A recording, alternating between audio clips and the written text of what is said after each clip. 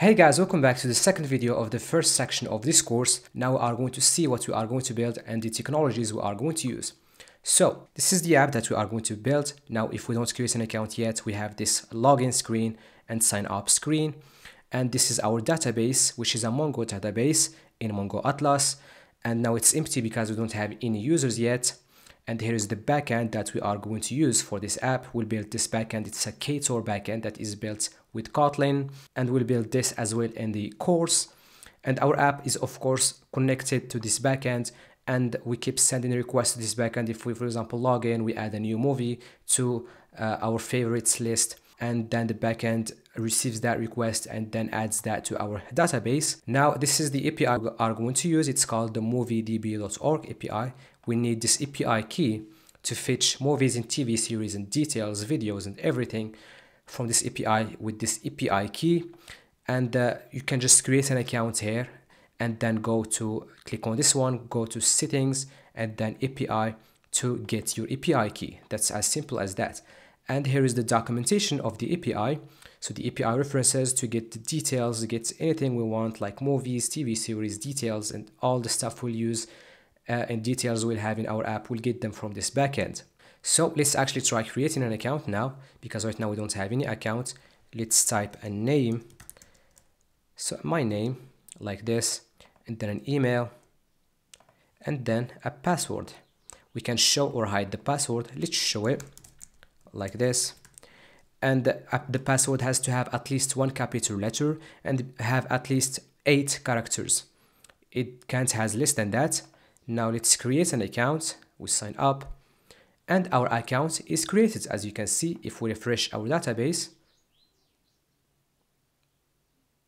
here is the user here is their email their uh, name, their ID, the password, it's hashed because we don't directly store the user's password in the database. In fact, we hash them.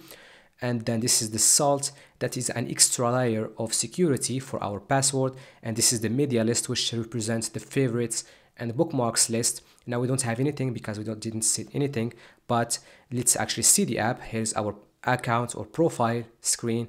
We have the name, the email, we can sign out if we want.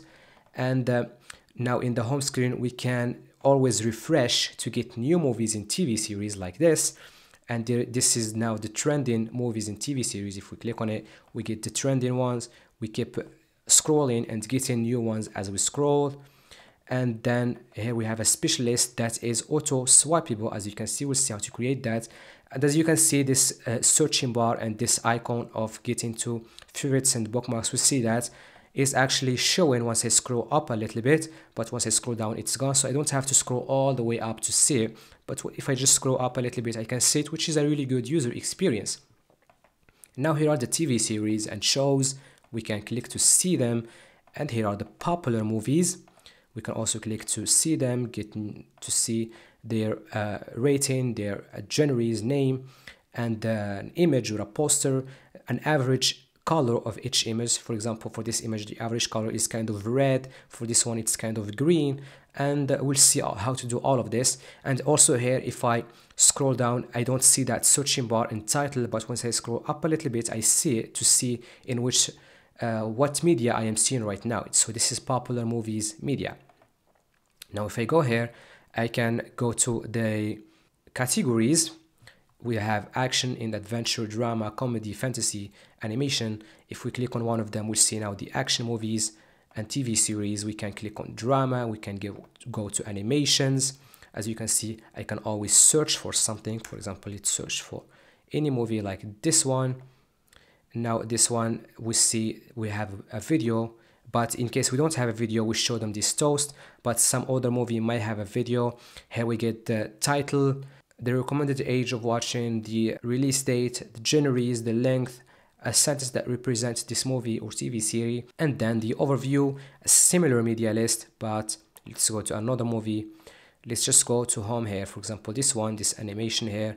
If we try watching uh, a video, as you can see here, we're watching a video. Of course, not the movie, but just the trailer because this API does not possibly provide watching movies. I don't think it does. We can watch the trailer. Now we get, as I said, details. We can get to see similar media and movies to this uh, movie that we just saw we can add that one to our bookmarks list or to our favorites and if we go now to our bookmarks or favorites now it's added as you can see we can open it and get a new one for example this one and add this one only to our favorites this one to our bookmarks. We can do just things like this and adding them saving them there. And if we go for example let's go to our home. And if we do this now as you can see they are all right there saved there. And if we go to our database and refresh as you can see now we have those media that represents favorites and bookmarks right here in my database. So nothing is lost. Everything is saved in my database. And uh, if I go to home choose another movie add that to bookmarks and add that to favorites. And if I choose something that is already there so let's go here. We have now these in our bookmarks and favorites. We can open them. If I for example want to remove this one I can just click on it again. It shows me a toast I mean a, a dialog because I don't want to remove it accidentally when I click on yes it will be removed. And when I when I go back it's now gone it's no longer here. And I can refresh to sync the data. So if my if something is, is not synced I can always refresh to sync but data is always synced. And we'll see how we can do the syncing as well.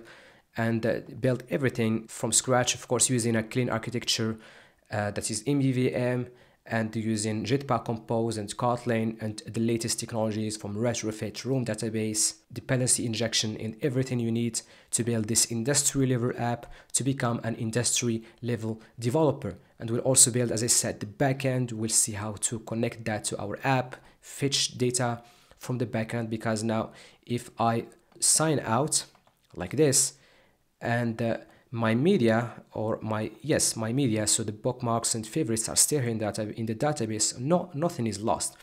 Even if I uninstall the app and do anything I can always get them. Let's just bring the app here. This is our app. It's called Watchy now I just sign in with my account. So this is my email and I enter my password. If I enter a wrong password like this then I can't sign in. It will show me invalid email or password. But if I enter valid ones and I sign in now I get them. If we go here as you can see nothing is lost. Everything is still available.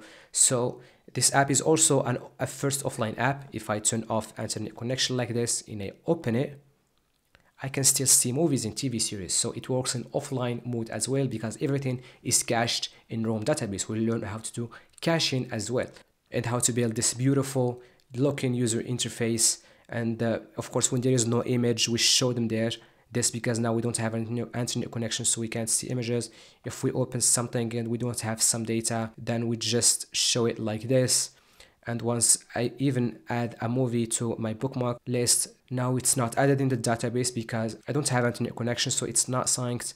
But if I just for example turn internet connection and I go right here then it will be directly synced even I can make sure by just refreshing and it will be synced to my Mongo database. As you can see now it says 7 so we'll build this app widget Jetpack Compose. This app does support uh, dark mode as well. As you can see it looks just great. And uh, everything looks beautiful with this app so this is it for this video now. In the next section, uh, this is the last video in this section of course. In the next section we'll start building the app and writing code, implementing the main features and this course will include something like 45 to 50 videos, demand videos of building this industry level app to become an industry level developer and take your skills to the next level. So see you in the next video and bye.